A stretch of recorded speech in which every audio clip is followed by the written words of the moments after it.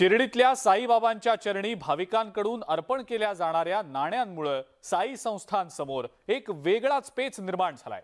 कारण काही बँकांनी ही नाणी स्वीकारायला असमर्थता दर्शवली आहे आणि त्यामुळं आता यावर तोडगा कसा काय काढावा असा प्रश्न साई संस्थांसमोर निर्माण झालाय.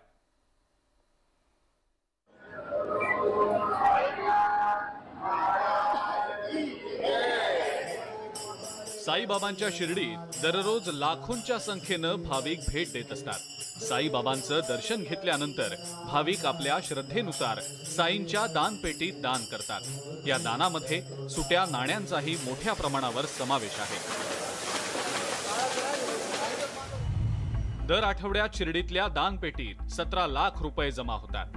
तर वर्षभराचा विचार करता तब्बल साडेतीन कोटी रुपयांची नाणी निघतात. पण आता हीच दान झालेली नाणी जमा होणाऱ्या बँकांसाठी डोकेदुखी ठरतायत. आपल्याकडे महिन्यातनं आठ ते नऊ वेळा मोजणी होते आणि या मोजणीच्या वेळेस प्रत्येक मोजणीच्या वेळेस साधारणतः साडेतीन ते चार लाख रुपये किमतीचे इतके मूल्याचे इतके नाणी पेटीमध्ये जमा होतात. सदरील नाणी काउंटिंग झाल्यानंतर बँक घेऊन जातात आणि त्यांच्याकडे ते स्वतः ठेवतात. परंतु याच्या प्रमाण खूप जास्ती झाल्यामुळे खूप अनेक दिवसापासून अनेक वर्षापासून झाल्यामुळे बँकेकडं ती नाणी ठेवण्यासाठी आता जागा उपलब्ध नाही. त्यामुळं बँक काउंटिंगसाठी सहकार्य करण्यातही बऱ्यापैकी टाळाटाळ करते आहे. साईबाबा संस्थांची जवळपास तेरा विविध बँकेत खाती आहेत. शिर्डीतील बारा तर नाशिकच्या एका राष्ट्रीयकृत बँकेत साई संस्थांची खाती आहेत. या सगळ्या बँका साई संस्थांकडून जमा होणारे पैसे आणि नाणी घेऊन जातात. आता मात्र बँकांना नाण्यांचा हा भार सोसवत नाहीये.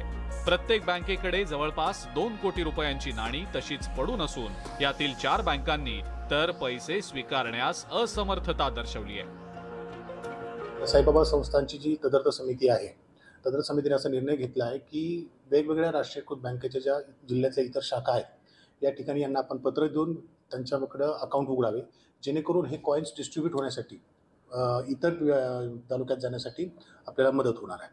परंतु या निमित्तानं मी भारतीय रिझर्व्ह बँकेलाही विनंती करेल की व्यवस्थापन समितीने आपणासही अशी विनंती करत आहे की या कॉईन्सचे नियोजन करण्यासाठी स्वतः आर बी आयने सुद्धा आम्हाला मदत करावी.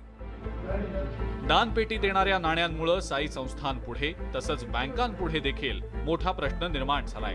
शिर्डी शहराव्यतिरिक्त जिल्ह्यातील तसंच परत जिल्ह्यातल्या राष्ट्रीयकृत बँकांमध्ये खातं उघडण्याचा संस्थांचा विचार आहे. एवढंच नाही तर नाण्यांच्या या बिकट प्रश्नावर तोडगा काढण्यासाठी संस्थांनं थेट भारतीय रिझर्व्ह बँकेकडे पाठपुरावा करण्याचीही तयारी सुरू केली आहे. Harish Dimote news eighteen Lokmat Shirdi. News eighteen Lokmat विशेषमध्ये आता वेळ झाली आहे एका ब्रेकची बघत रहा न्यूज एटीन लोकमत.